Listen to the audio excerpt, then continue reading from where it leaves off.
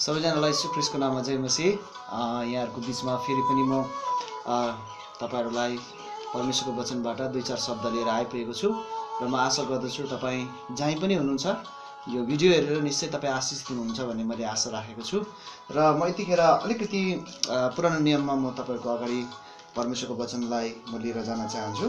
पुरानो नियममा हामीले जब अयुबको किताबलाई जब हेर्छौँ जब जब म यो अयुब किताबलाई पढ्दछु म धेरै आशिषित हुन्छु किनभने यो अयुबको जीवनलाई जब म विचार गर्दछु निहाल्दछु अनि जब यो अयुबको जीवनलाई म अध्ययन गर्दछु म धेरै आशिषित हुन्छु।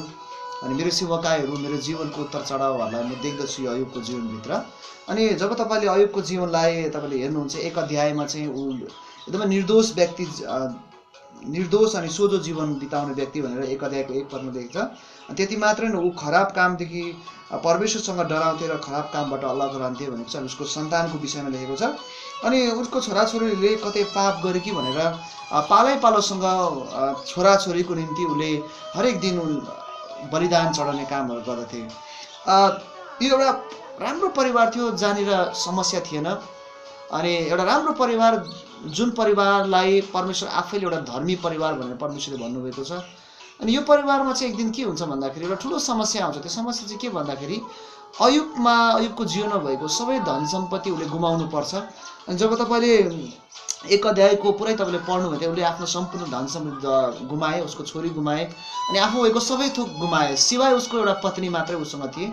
अनि यतिसम्म भयो उसको जीवनमा घाउ खटिरह्यो कनाउन लागि चिलाउन लाग्यो उसको उसले खपेटा लिएर कन्याको कुराहरू हामी एक अध्यायमा पाउँछौँ। अनि जब हामी बाइबलमा पढ्दै पढ्दै आएपछि उसको जीवनमा यस्तो धेरै समस्याहरू आएको कुरा देख्छौँ। त्यति मात्रै होइन उसको आफ्नै पत्नीले पनि दुई अध्यायको नौ पदमा आइपुगेर के भनेको छ भने के तपाईँ आफ्नो निष्ठामा अझै अडिक रहनुहुन्छ?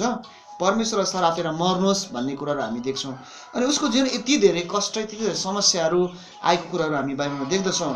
कोही कोही बेला हाम्रो जीवनमा पनि यस्तै हुँदछ। हामीले सेवाकाई गरिरहेको छौँ हामीले अ, दशवांश लगाइरहेको छौँ भेटी लगाइरहेको छौँ सेवाकाई गरिरहेको छौँ आइतबारको सङ्गति गइरहेको छौँ हामी उपवास बसिरहेको छौँ प्रार्थनाहरू गरिरहेको छौँ यस्तो कुराहरू हाम्रो मनमा आउँदछ। अनि त्यस्तै अयुबको जीवनमा यस्तो कुराहरू थियो। तर जब हामी हेर्दै गयौँ भने उसको जीवनमा यस्तो डरलाग्दो कुराहरू आउँदा पनि अयुब आफ्नो विश्वासदेखि अलिकति पनि ढलफल भएन। जब उसको पतिले त्यस्तो भने त्यतिखेर उसको एउटा स्टेटमेन्ट मलाई साह्रै मन। उसको भनाइ चाहिँ के छ भन्दाखेरि तर तर अयुबले जवाब दिए तिमी एक मूर्ख आइमे जस्तो कुरा गर्छौ। परमेश्वरबाट सुख चाहिँ भोगेर हामीले दुःख चाहिँ नभोग्नु।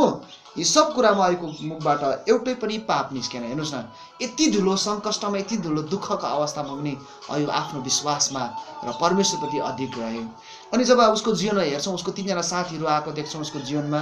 अनि तिनजना साथीले घरि राम्रो कुरा गर्थे घरि राम नराम्रो कुरा गर्थे घरि ठिकैको कुरा गर्थे घरि अलिक निराशा पार्ने कुरा गर्दथे। जे पनि होस् अहिलेको जीवन सबै कुराहरूबाट जान पर्यो। प्रियमित्र आज संसारमा तपाईँ जहीँ पनि हुनुहुन्छ। तपाईँ जुनै अवस्थामा पनि हुनुहुन्छ सायद अयुबको जीवन जस्तो तपाईँको जीवनमा कष्टहरू दुःखहरू आउन सक्छ। तर म तपाईँलाई भन्छु जब हामी अयुबको किताब तपाईँले अन्तिम अध्याय तपाईँले जब पढ्नुहुन्छ बयालिस अध्यायमा तपाईँले पढ्नु भने यस्तो लेखेको छ बयालिस अध्यायको दस पदमा यसरी छ यसरी परमप्रभुले अयुबको सुदिन फर्काइदिनु भयो तिनका सबै धन सम्पत्ति दुई गुणा बनाइदिनु भयो आमेन।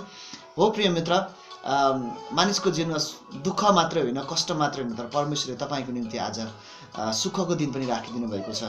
तपाईँ आफ्नो विश्वासमा बलियो हुनुहोस्। परमेश्वरको वचनदेखि तपाईँ नडगमगाउनुहोस्। तपाईँ संसारको जुनै कुनामा भए तापनि परमेश्वरले तपाईँलाई देखिराख्नु भएको छ। परमेश्वरले तपाईँलाई हेरिराख्नु भएको छ। यस कारणले गर्दा जसरी अयुको सुदिन परमेश्वरले फर्काइदिनु भयो अब परमेश्वरले तपाईँको जीवनमा तपाईँको भएको दुःखलाई परमेश्वरले हटाउनु हुँदैछ परमेश्वरले पनि तपाईँको सुदिनलाई फर्काउनु हुँदैछ परमेश्वरले यहाँलाई आशिष दिउन्। परमेश्वरले यहाँको जीवनमा यहाँको परिवारमा प्रशस्त आशिष दिउन्। आमेन। जय मसिया सबैजनालाई।